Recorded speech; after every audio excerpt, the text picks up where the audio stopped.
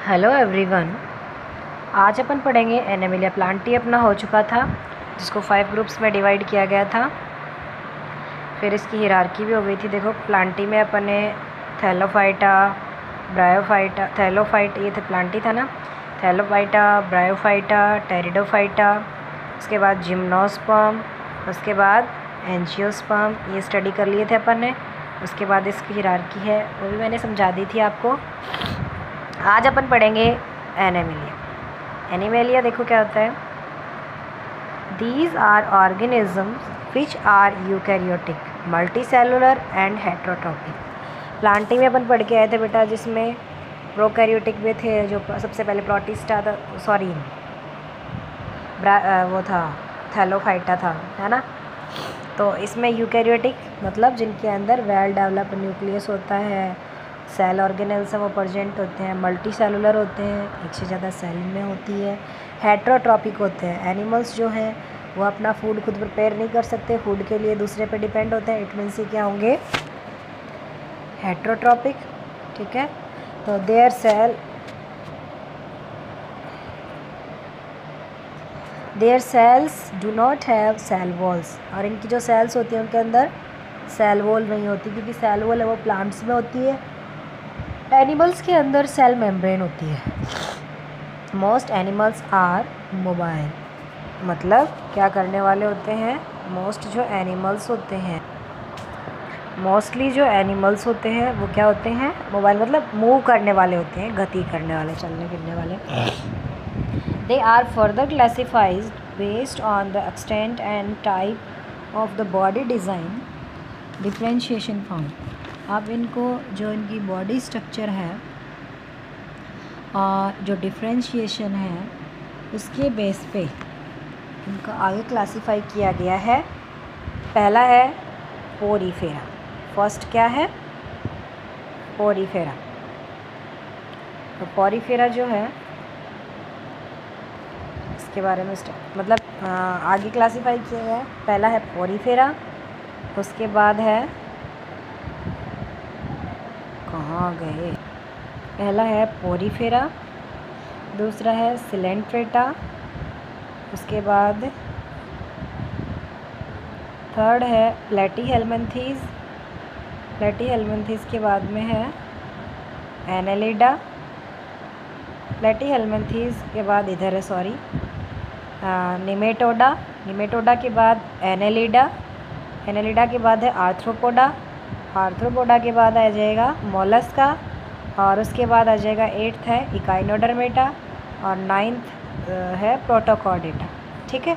ये nine groups में इसको डिवाइड किया गया, और सॉरी प्रोटोकॉडेटा के बाद देखो टेंथ है पीसीज टेंथ में पहला है पीसीज उसके बाद सॉरी वर्टिब्रेट्स आ जाएँगे। वो नॉन वर्टिब्रेट्स थे उनको नॉन ये इसी में कर दिया इन्होंने, वरना नॉन कोडेटा और कोडेटा अलग अलग होंगे तो ये इसमें दिया गया वर्टिब्रेड्स वर्टिब्रेड्स में देखो पीसीज है। उसके बाद सेकंड फ़र्स्ट पीसीज सेकंड है एम्फीबिया थर्ड है रेप्टिलिया फोर्थ है एवीज़ और फिफ्थ है मेमेलिया ये इसमें इसको, फिर उसके बाद में एनिमल्स का क्लासिफिकेशन दिखाया गया है। फिर ये नॉमैन क्लेचर है और ये अपना चैप्टर फिर कंप्लीट हो जाएगा। दो टॉपिक हटने वर्टिब्रेट और नॉन वर्टिब्रेट्स ठीक है? तो अभी आज अपन स्टडी करेंगे एनेमिलिया एनेमिलिया में अपन स्टार्ट करे थे पोरीफेरा पहला है पोरीफेरा ठीक है? ये है Porifera the word means organism with walls इस वर्ड से मतलब अब पोरीफेरा मीन्स पोरीफेरा मतलब क्या होता है? पोर्स पोर्स होते हैं ना? पोर्स पोर्स मतलब? ऑर्गेनिज्म विद हॉल्स वर्ड से ही पता चल रहा है, इस शब्द से ही पता चल रहा है कि ऐसे ऑर्गेनिज्म जिस पे हॉल्स हों। These are non motile animals ये जो एनिमल्स होते हैं नॉन मोटाइल होते हैं मीन्स ये मूव नहीं करते हैं। Attached to some solid support और कुछ भी सॉलिड सपोर्ट होता है, उसके साथ में ये अटैच होते हैं सॉलिड सपोर्ट के साथ में जुड़े रहते हैं। देर आर हॉल्स और pores all over the body और इनकी पूरी बॉडी पे हॉल्स होते हैं, या पोर होते हैं, वो होते हैं।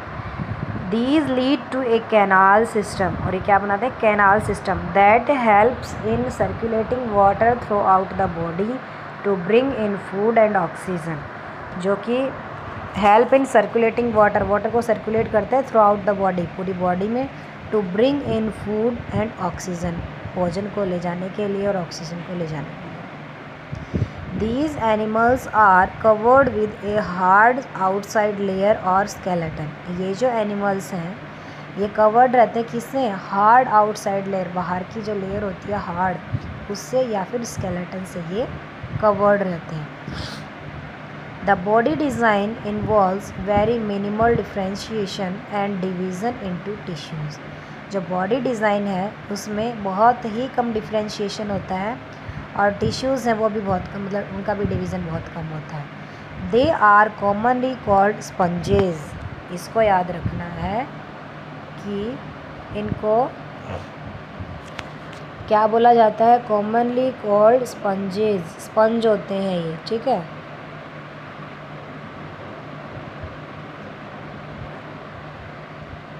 ये स्पंज है, इनको स्पंज बोलते हैं। And are mainly found in marine habitats marine habitat मतलब मराइन में समुद्री जो होता है, जल उसमें मिलते हैं।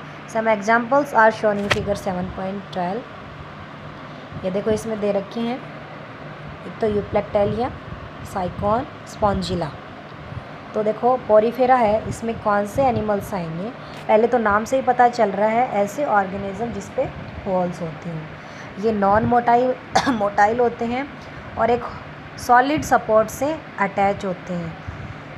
और इनके अंदर होल्स होते हैं पोर्स होते हैं पूरी बॉडी के ऊपर। और ये मिल के कैनाल सिस्टम बनाते हैं जो पूरी बॉडी के अंदर वाटर फ़ूड ऑक्सीजन उसकी सप्लाई करते हैं। ये जो एनिमल्स होते हैं, ये हार्ड जो आउटसाइड लेयर या स्केलेटन उससे कवर होते हैं।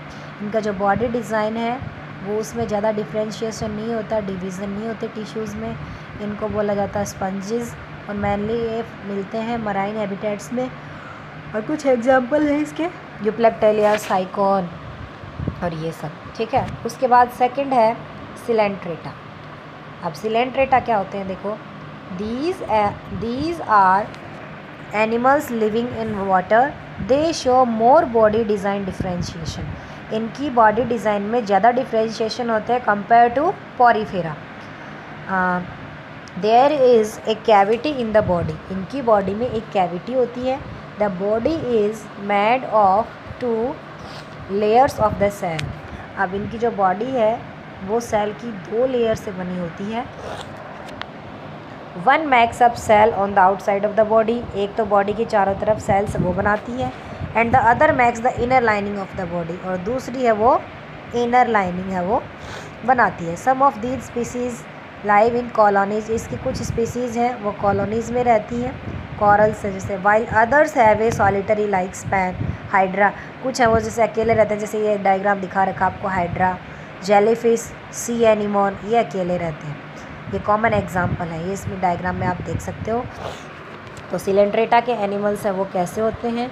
इनकी जो बॉडी डिज़ाइन है कंपेयर टू पॉरीफेरा डिफ्रेंशिएशन उसमें होता है, इनकी बॉडी में कैविटी पाई जाती है और इसके बॉडी के ऊपर जो दो लेयर होती हैं सेल्स की, एक तो ऊपर वाली लेयर बनाती है, दूसरी अंदर वाली लाइनिंग बनाती है और कुछ स्पीसीज इसकी कॉलोनीज़ में रहती हैं और कुछ जो होते हैं सॉलिटरी मीन्स अकेले रहते हैं। जैसे हाइड्रा वगैरह वो अकेले, कॉलोनीज़ में कॉरल्स वगैरह हैं, वो रहते हैं। तो एनेमिलिया के अंदर अपन ने दो क्लास पढ़ ली हैं, पहली तो है पॉरीफेरा दूसरा है सॉरी दो ये पढ़ ली हैं अपने फाइलम, पहला पॉरीफेरा, दूसरा सिलेंट्रेटा, और अब इसमें थर्ड जो है, वो है प्लेटी एलिमेंथी। ये पढ़ लेंगे अपन कल। आज के लिए इतना ही। Thank you